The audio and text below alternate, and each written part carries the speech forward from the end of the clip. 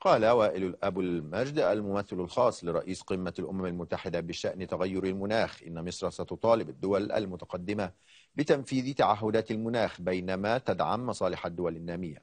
وكانت قمة العام الماضي في اسكتلندا قد انتهت بتعهد ما يقرب من 200 دولة مشاركة بتعزيز التزاماتها المتعلقة بالمناخ لكن البلدان الغنية خيبت آمال كثيرين بعدما قالت إنها لن تقدم 100 مليار دولار سنويا تعهدت بها بين عامي 2020 و 2023 لمساعدة البلدان النامية على التحول نحو الطاقة النظيفة والتكيف مع الارتفاع العالمي في درجات الحرارة.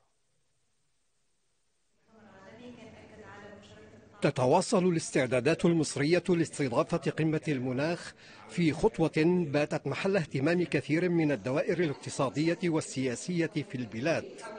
وفي هذا الصدد يقول وائل أبو المجد الممثل الخاص لرئيس قمة كوب 27 إن مصر ستطالب الدول الأخرى بالتحرك لتنفيذ تعهدات المناخ بينما تدعم مصالح الدول النامية.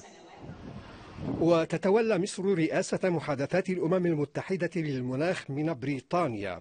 وقد انتهت قمة العام الماضي في غلاسكو بسكوتلندا بتعهد ما يقرب من 200 دولة مشاركة بتعزيز التزاماتها المتعلقة بالمناخ هذا العام.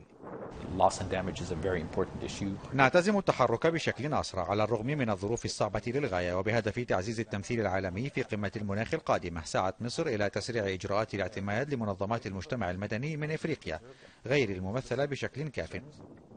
وتواجه قيمة المناخ تحديات كثيرة خصوصا أن البلدان الغنية خيبت آمال كثيرين في القمة السابقة بغلاسكو بعدما قالت إنها لن تقدم 100 مليار دولار سنويا تعهدت بها بين عامي 2020 و 2023 لمساعدة البلدان النامية في التحول نحو الطاقة النظيفة والتكيف مع ارتفاع درجات حرارة العالم.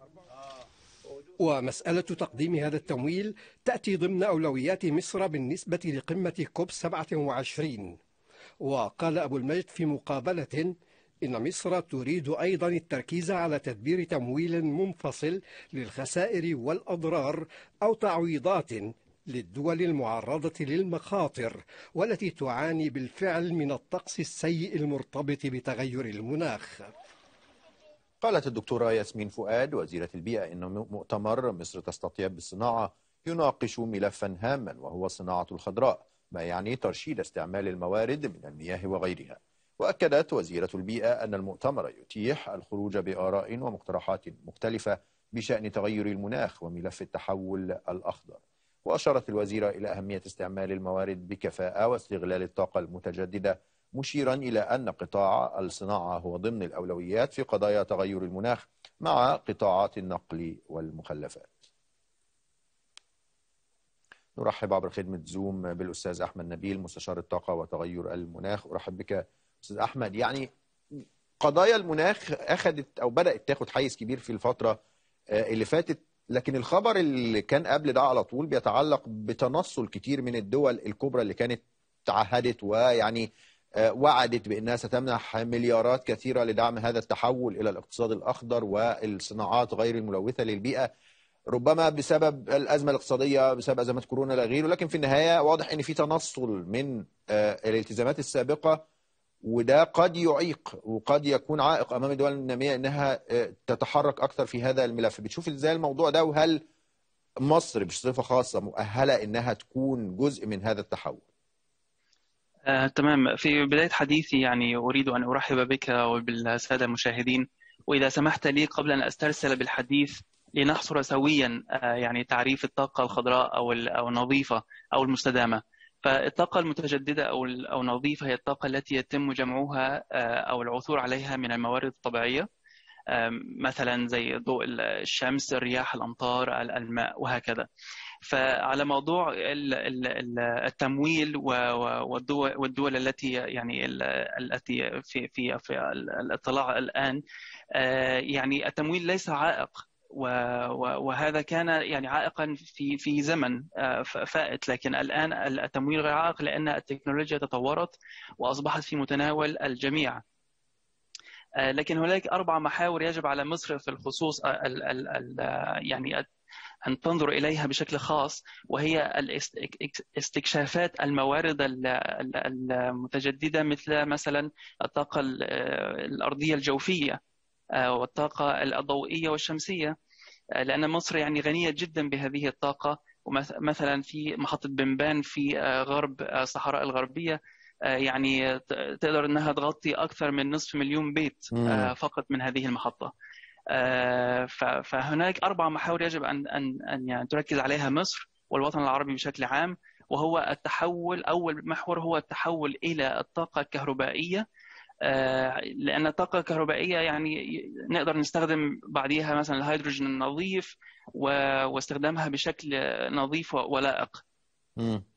طيب لكن انت انت قلت إن ده غير مكلف لكن غير مكلف ربما لشريحة معينة من الدول لكن دول أصلا عندها أزمات اقتصادية عندها قروض أصلا آه هنتكلم مثلا عن آه عن عشان توطن مثلا صناعة السيارات الكهربائية علشان تستخدم الكهرباء بشكل أكبر في الصناعة ده محتاج تغيير كلي في البنية التحتية كمان للدول دي وده يستدعي كتير من ال آه يعني الموارد. وبما إنك أشرت لمحطة الطاقة الكهربائية بنبان يعني هي نموذج للفكره أو المخرج الثاني اللي هو فكرة الشراكة بين الحكومة والقطاع الخاص. إن القطاع الخاص يكون هو شريك وهو اللي بيمول ده الحكومة بيستفيد أيضا من أرباحه.